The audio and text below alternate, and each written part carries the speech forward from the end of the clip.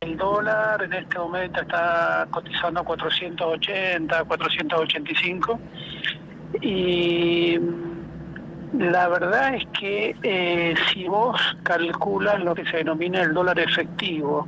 esto es, comparás los activos del Banco Central, que son las reservas, eh, y los pasivos del Banco Central, que son todas las LELIC y la base monetaria, eh, ya sea ese cociente, te da que el dólar efectivo está en alrededor de 505 pesos. O sea que si hoy cerrara en 485 pesos, estaría eh, todavía 20 pesos más barato que eh, este dólar de equilibrio o dólar efectivo, eh, que es un dólar al cual apunta el mercado cada vez que hay una situación de inestabilidad política o económica como la que tenemos en este momento. O sea que en ese sentido eh, casi te diría que, entre comillas, el dólar está barato, digamos. Está todavía un 5% más bajo de lo que podría estar, habida cuenta que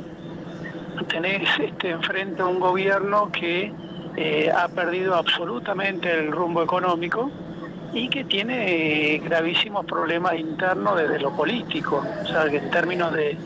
propuesta o de una oferta hacia la sociedad,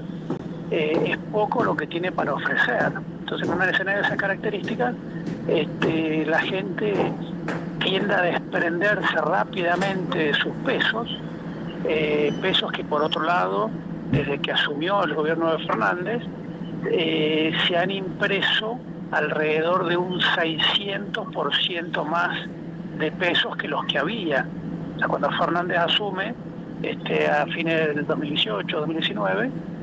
eh, la base monetaria de alrededor de 800 mil millones de pesos y en la actualidad la base monetaria es de 5 billones de pesos. Entonces, cuando vos tenés una emisión monetaria de esas características